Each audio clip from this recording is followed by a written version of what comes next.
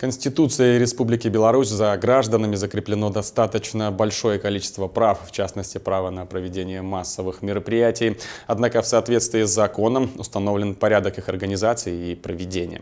Обязательное условие – официальное согласование с органами власти. Таким образом, в эту категорию подходят не все проводимые акции. В различных э, деструктивных телеграм-каналах, интернет-ресурсах размещается информация с призывом к гражданам участвовать в так называемом Дне воли, который проводится 25 марта и в последующих днях, включая выходные дни.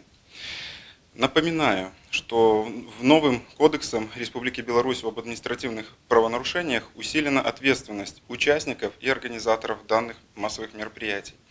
Участники массовых мероприятий, совершившие данное правонарушение впервые, подвергаются административной ответственности до 100 базовых величин. Организаторы до 150, в том числе может быть наложено взыскание до 15 суток ареста. В связи с участившимися заявлениями о призывах в Телеграм и YouTube каналах о выходе людей на несанкционированные массовые мероприятия, правоохранительные органы напоминают гражданам о мерах ответственности за подобные нарушения. Обращаю внимание, что в случае, если противоправных э, акциях будут применены насилие, э, погромы, э, различного рода противодействия законным органам власти, связанные с дестабилизацией общественного транспорта, работы предприятий, осквернением и порчей имущества, может быть, э, э, данные граждане будут привлечены к уголовной ответственности вплоть до 15 лет лишения свободы.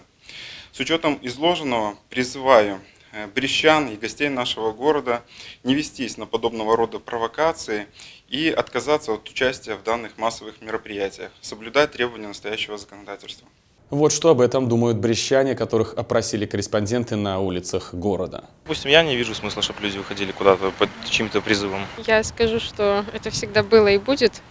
Я не думаю, что людям на самом деле так плохо здесь живется. Я в свое время отслужил за нашу Родину, поэтому хочу, чтобы она была единая, целая и неделимая.